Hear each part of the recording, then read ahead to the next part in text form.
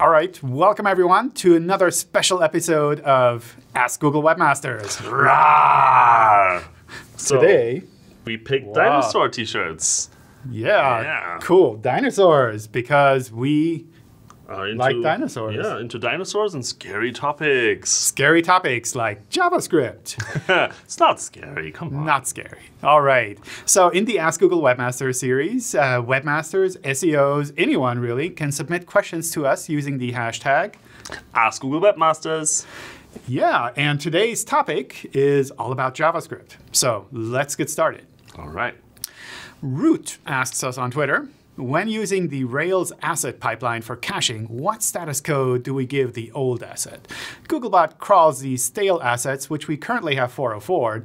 Do we 410 them instead, or do we keep them alive for a couple of months? What do you think? I don't really know what a Rails asset pipeline is. Martin, can you tell us more? To be fair, it doesn't really necessarily matter to this specific question because it's pretty much the same for every assets that you've got and that you might update at some point. The Rails asset pipeline, however, is a way for Rails to process and uh, pre-process your, your assets as you have them in development for the production-ready site. So it's basically like an automatic pipeline of dealing with your assets in your Rails application. But what it boils down to is you have old assets, you eventually have a new version of your website, and then you have new assets, like some old JavaScript, some previous version of your CSS, some images that you're no longer having on your page, stuff like that, right? So, how do you deal with that? Well, you just keep it around for a while um, until we recrawl your actual HTML content, and then we get the new assets uh, afterwards. But because of caching, uh, we try to make it so that we can crawl and index your page as quickly as possible, but that might mean that we're going to keep using outdated URLs, and if you 404 them, then we're just going to end up with broken renders in between, and that's something you probably want to avoid All right, so better to keep them around for a while. for a while. Mhm. And you can use your server logs to figure out when we stop asking for these assets and then just fully remove them. cool.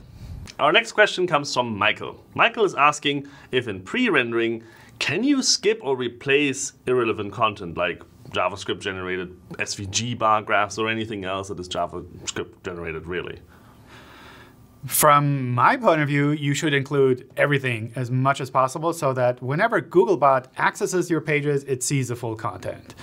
Does does that kind of match? Yeah. I, am not really sure. Like with pre-rendering, do they mean? Um, yeah, so they can either mean so pre-rendering really is just running your JavaScript on the server side um, once whenever you, the content changes, and then deploying the static assets to everyone. In this case, no, you do not skip things.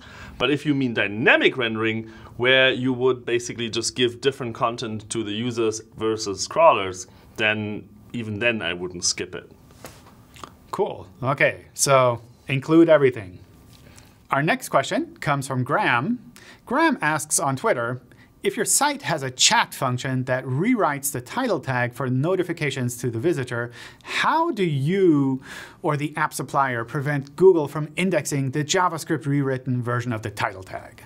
You don't, I would say. don't? No. So, as we are rendering the page, we are picking up rewritten titles. So, in that case, whoops.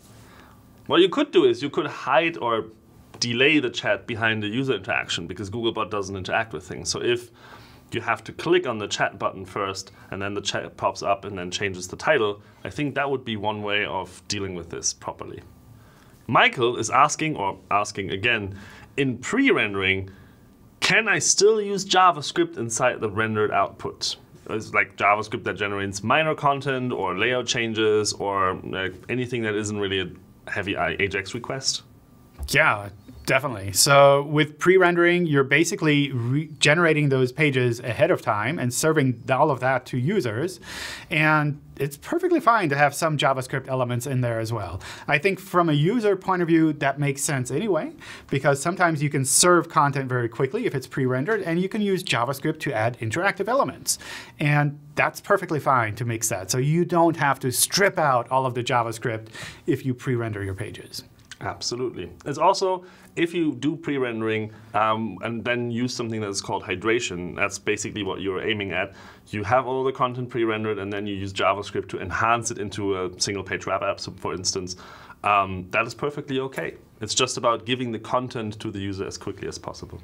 So it sounds like JavaScript and SEO are going to be with us for a while again. I do think so, yes.